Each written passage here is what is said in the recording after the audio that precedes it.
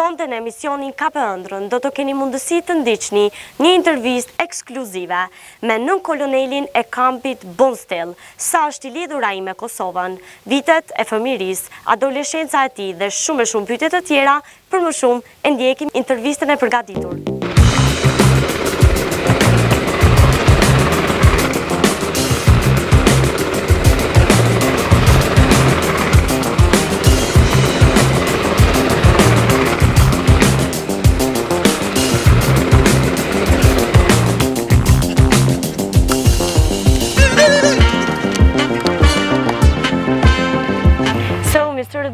Thank you that you admit my invitation for this interview today. As we see, we are now inside of Camp Bondsteel, and for me it's a big pleasure to be here. I never was before. Here where is based America, which we love and always gonna be grateful. Not only us, young generation, but also our parents and grandparents and everyone who live in Kosovo. It's also an honor for me to talk more about you, sir, your work here, so other people will be able to know such a great man as you. I don't know about that, but yes, you're quite welcome. I'm glad we have the opportunity to uh, to bring on the Camp Bondsteel and, and do the interview and, and talk about uh, talk about the youth of Kosovo and catching dreams. So my first question is, can you tell us more about yourself, Mr. Edinger? So uh, I grew up in uh, Louisville, Kentucky. Uh, so uh, I, I, played sports and uh, went to the university and then joined the Army. And now I'm an Army officer and I have a beautiful wife. Been married 27 years and two young daughters, one about your age and then one that is in at the university. My other question is, how was your teenage life? Uh, in which sport were you interested during the years of school? Can you tell us more about I it? I can. Uh, so uh, elementary school and grade school life and high school, I played uh, baseball, football, a little bit of soccer. Uh, you know. Uh, That's interesting. And then uh, and then uh, ran cross or ran track as well. What dreams did you have when you was younger? So a couple dreams. I wanted to fly jets, not helicopters, but I wanted to fly jets, or I wanted to play in the NFL the National Football League, uh, uh, the, the big guys, or the big guys play. What was your greatest strength as a child? Uh, I was a very active child. My mom was always telling me to sit down and be quiet, but uh, very active. But early on, I understood the concept of setting goals. Uh, I was a little bit smaller than some of the other uh, friends I played football with. Uh, so I learned how to set goals and work hard to achieve those goals. What advice have you learned it during the years and wanted to know it earlier? What advice? Uh, to be thankful for the people that are around you, let others help you uh, to achieve your goals, and to, uh, even in times of adversity, keep fighting. Keep fighting. fighting. That's good. That's so good.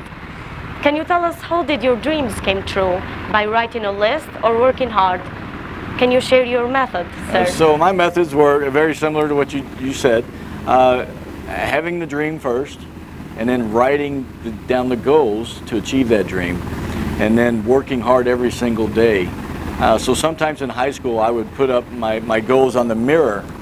Uh, so every morning when I was brushing my teeth, uh, I would look at the mirror and, and, and I could see my goals. And uh, every day I knew I had to keep working hard to achieve those goals. What are the things you do in your free time? What do you do in your free time? My free time? Yeah. Uh, I like to uh, uh chop wood, uh, make firewood for the winter. Uh, I exercise quite a bit. And then I hang out. my wife and my daughters enjoy traveling. So we travel both in the United States and in Europe. Question, sir, is do you remember the moment when you decided to join the army? Can you tell us more about it? Uh, that's a uh, that's a great great question. Uh, I knew at a very early age that I would be part of the military. My grandfather was in the U.S. Navy during World War II. My uh, uncle was in the U.S. Marine Corps, and then my dad was also in the U.S. Marine Corps. So initially, I went into the U.S. Marine Corps and I knew right out of high school that I was going to join the uh, join the Marine Corps. And then after my time in the Marine Corps, I, I really wanted to, to be an officer in the Army. So uh, from a very early age, I knew that I would follow in my. You just knew it. I just knew it. and yes. you just did it. My other question is, what would you say to someone who wants to join the army now, nowadays? Nowadays, uh, y- you have to do the same thing that everyone does. You have to be mentally fit, so you have to pass some, some mental test. Uh, you have to be physically fit, uh, and you, uh, you have to understand that there, there are rules, and you have to be disciplined. And uh, that's, that's what it takes to be in the, the Army. Whether it's the U.S. Army or any Army, those are still some characters, characteristics and some qualities every person in the, in the military needs to have. We all know that uh, during the uh, fights, not only the fights, but during the training in the army, there can be dangerous situation. So, have you suffered a serious injury? Well, at my age, I, I wake up in the morning and have an injury. So, uh, but uh, yeah, I've had a few injuries during uh, during my uh, career in the Army: knee pain, uh, back pain, elbow pain. The guys who really have injuries are those guys that jump out of airplanes and helicopters and, and things like that. But yes, they're they're always. Uh, but uh, you're in great shape. Most of our uh, our, our soldiers are in, in, in great shape, and so they uh, they bounce back very quickly. What are the golden rules in military? I know that there are rules. There are lots of rules in the military. Uh, so obviously wearing a uniform and keeping your hair hair cut and your and uh, basically doing what you're asked to do or being what you're told to do, so that if there is a situation where you have to fight, you, you don't question authority. You do what you're told, and then that's the basis for you know what we do. Uh, we never want to go to into a fight, but we're always preparing uh, to do that in case our country calls. Yes. We will move to Kosovo. How much are you connected to Kosovo? Uh, well, I've been to uh, I've been to many places in Kosovo, uh, Gjilan down the road, and then and Ferizaj. What a great uh, great town Ferizaj is. Uh, I've been to Pristina, been to Prizren, uh, been to a few other places, and uh, uh, most of my connections to uh, to Kosovo. Uh, also been to uh, Zvecan, Leposavic, Oblic, uh, those places. Most of those were connected to CIMIC donations uh, that the U.S. Embassy and KFOR RC East have been associated with. So we've uh, donated computers to some local schools. Uh, we've donated some equipment to local uh, fire uh, firehouses. Uh, so uh, it's been a great opportunity to see see many parts in Kosovo. Uh, you have been near the youth activities here in Kosovo, and what can you add about it? Well, I said I, the last week, the KFOR week, and then when uh, Ferizaj celebrated their 150 year anniversary, I was there and walked into a classroom full of 40 kindergarten kids, very, you know, five, six, seven year olds. They were the most beautiful kids I've ever seen. They were all in their, their Sunday dress, as we call it. They were in, uh, in, in bow ties and in dresses. In fact, I think you emceed their, uh, their dancing. Yes. What a great, uh, a great opportunity to just see the, the smiles on their face, their enthusiasm, and see their parents taking pictures of them. And so they are a great representative of the, the children of, of Kosovo. So, my other question is Do you feel the love that people here in Kosovo have for America? Yes, you just walk down the street in uh, in Ferizaj and you feel uh, you very feel very welcomed, and uh, people are always, especially the young younger crowd. I've met a lot of teenage boys that come up and talk to us and our LMTs, our other soldiers in the in the cities, and. Uh, it's a great uh, it's a great feeling because they really appreciate uh, why we're here uh, and and what we do here. My other question is if you choose to write a book, what would the title be? That's a very good question. Very hard question. Can I think about that and come back to you? Of course. Okay, all right. Let me think about it. Hmm. Well, you said yours would be what? A fighter. Fighter. So I'll just say, let's just say warrior. Because you have to be a, a warrior in, in lots of difference. You can be a warrior for your family. You can be a warrior in your faith. And you can be a, a, a, a real life warrior wearing a uniform. Whether it's an army uniform or, or uh, you know, uh, being a, a, doctor's uniform or a teacher's uniform or any anything. So as long as you keep uh, working and trying to uh, uh, catch those dreams that you talked about earlier, uh, you can be a warrior in all of those. That's so good. My other question is, how much do you miss the family when you are far from them?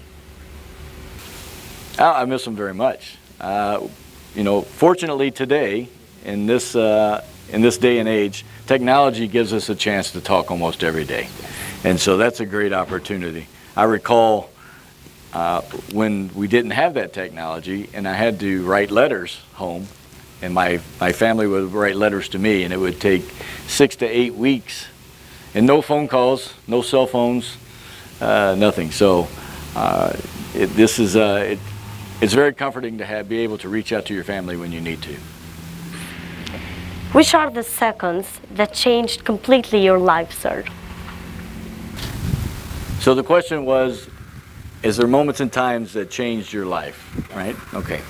Well, there was a moment in high school where a teacher pulled me to the side and told me, the world does not revolve around you. And I have used that on a couple occasions with my younger brother and other people because at certain times I was being selfish and only concerned about my goals and how I got there. And so, to an extent, even though I still had goals, I wasn't treating people uh, the way they should be treated or letting, the, letting them help me achieve my goals. Uh, and so I learned very quickly that the world does not revolve around me. And so that's wonderful, we can say. What are you most thankful in life, sir? Well, I'm, I'm, I'm thankful for my faith. I'm thankful for my, my family, uh, my, my, my wife of 27 years and my two beautiful daughters and our extended family. I'm, I'm thankful for the friends I've made here, both in, in Kosovo and with the, uh, the people that I work with. I'm, I'm just, uh, I'm, a, I'm very blessed in what I have and uh, what I have is, is, is friendships and relationships, and that's very important to me. So, I want a message to all the young generation that are following us today. A message that can help them to improve their goals or to take them. To catch their dreams. Catch their dreams. Some simple advice uh, is, you know, is, treat other people the way you want to be treated. It's very, very simple.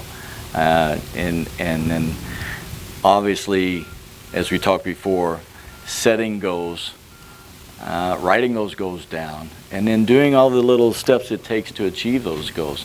And if you fail, you fail. You go back and you reevaluate. And then you start again, or you, you, you look at options that you have. And so it's you're not always defined to just doing one thing. You can have many different goals, uh, but to, to, focus on those and, and and set those goals out on, on a piece of paper and work every single day to get there and let others help you try to achieve those goals. So I want to thank you for the chance for this interview. I appreciate it a lot and uh, maybe when years will come I will always look this interview again, again, and again. Well, thank I, you very much. I, I appreciate value, it. I valued this opportunity as well, and thank you for asking me. Thank you very much.